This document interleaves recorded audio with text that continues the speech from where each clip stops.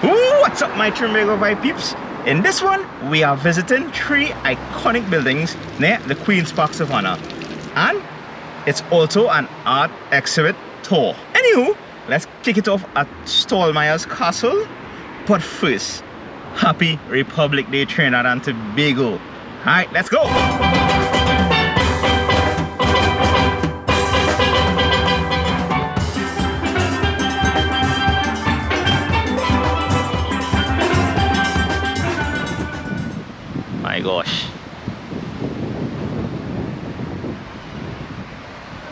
Alright, so right now the patriotism exhibition has spanned across three historic buildings these past few weeks. Unfortunately, we cannot record on the inside, but I'm just going to show you the architecture on the outside. Hopefully you have visited. I have posted this in my community tabs. It would have been posted uh, some weeks before. So I hope you all check it out. Let me know in the comments below if you did. Now let's go take in some architecture stuff. This is Killarney Castle or Stollmeyer's Castle as would like to call it. Now these three buildings that we are visiting in this one is part of our Magnificent 7 here in Trinidad and Tobago. So any opportunity you get to visit them, especially for free, you should take advantage of.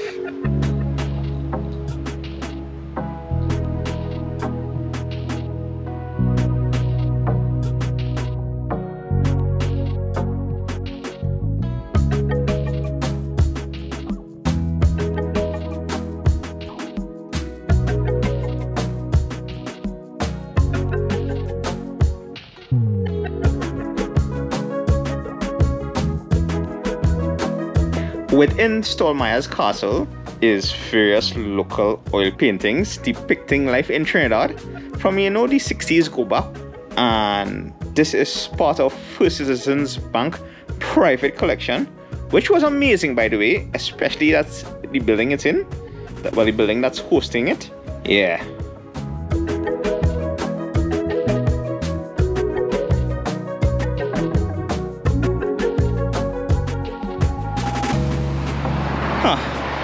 if I'll be alive by, by this year, boy, for when they crack it open.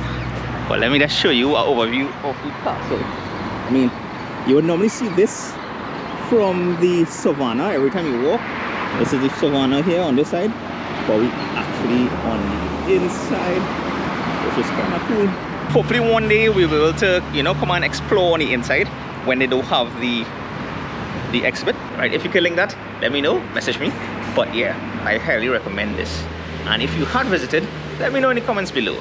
Trinbago vibes. All right, let's head across. Right now, we're going across next door to Whitehall, the office of the Prime Minister. So for security reasons, we couldn't record. I won't lie. The architecture inside there was amazing. Not just what Central Bank had on display, because at Stollmeyer's Castle, we had First Citizens Collection, First Citizens Bank Collection. At uh, the Whitehall or the Office of the Prime Minister, we had a part of Central Bank's collection, which is also amazing. We got to see a little bit of the history, like different parts of history throughout Trinidad and Tobago back in the past, where certain things were, how buildings were. It's pretty cool. And also, if you want to take in like some pictures of what inside Whitehall looks like, the National Trust of Trinidad and Tobago has some pictures up on their website. I'll leave a link to that site in the description below as well for you to check out. Also, it would be greatly appreciated if you can hit that like button as we celebrate 46 years of being a republic. Yeah, this is the Mille Fleurs, the third art exhibit out of the series of three and actually taking some local art. Our people our culture, our art. Bringing you inside Mille Fleurs with this one. Angostura collection right here. One of the Magnificent Seven. Right now home of the National Trust of Trinidad and Tobago in this art exhibit tour.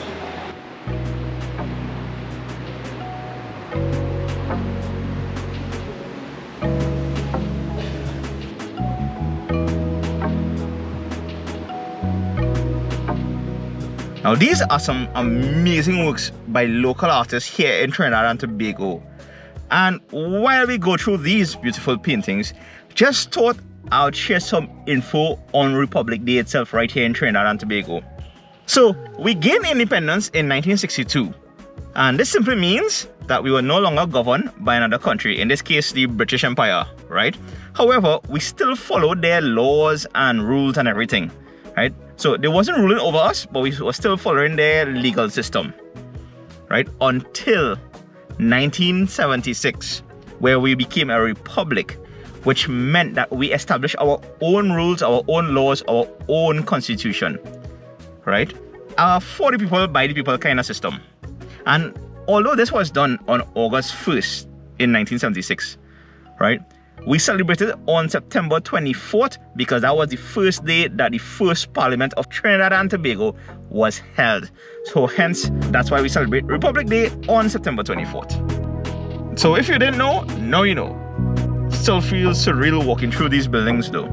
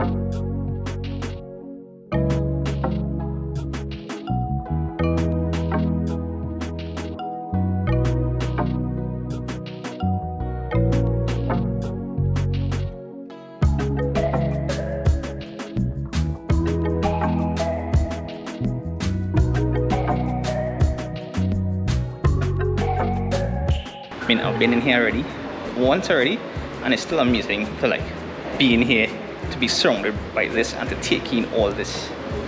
Right, this is the only one out of the three that allowed me to film inside here, so shout out the management here. Pretty cool, pretty awesome. Let's head upstairs now.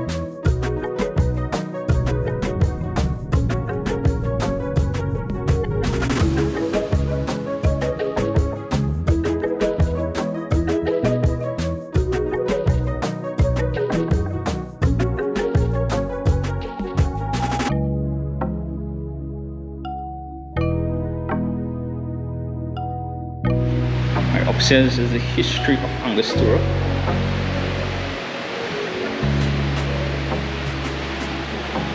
Wow, that looks familiar. Yeah, I just had to, you know, come out here, the ground again.